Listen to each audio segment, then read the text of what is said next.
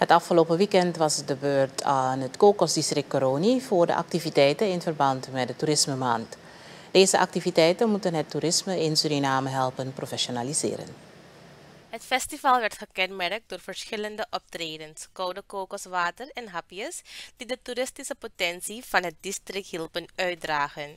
Het festival in Coroni, Kusu Festival, was bedoeld om al het moois van het district te tonen.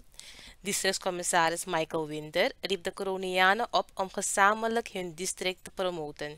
Kolip ala de negatieve te oestong abaka oso dat we taki maar positief wang laten we corona promoten. Dat is het allerbelangrijkste wat uh, men beoogt met dit toeristisch uh, evenement. Kom ik op promote corona.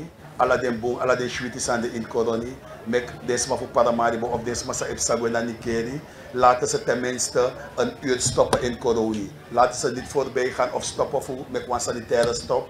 Maar laten ze stoppen en genieten van ons prachtige. De onderdirecteur van toerisme, Joël Musikaba, benadrukte dat elk district veel kan bereiken met toerisme. Ze adviseerde de Coroniaanse gemeenschap om het thema lied over hun gebied te blijven promoten. Ook gaf ze hen mee om het Kusu Festival voort te zetten. Ik hoop dat met deze activiteit, ik hoop niet dat het gewoon een start is en we volgend jaar niks meer zien in corona, maar dat jullie doorgaan. Het ministerie ondersteunt eigen initiatieven. En dit is echt een initiatief zelf genomen, georganiseerd, bedacht door de werkgroep van corona. In de toerismemaand ter gelegenheid van Wereldtoerismedag op 27 september heeft het ministerie van TCT samen met de private sector een reeks activiteiten en evenementen gepland in de stad en districten om het bewustzijn over toerisme te vergroten.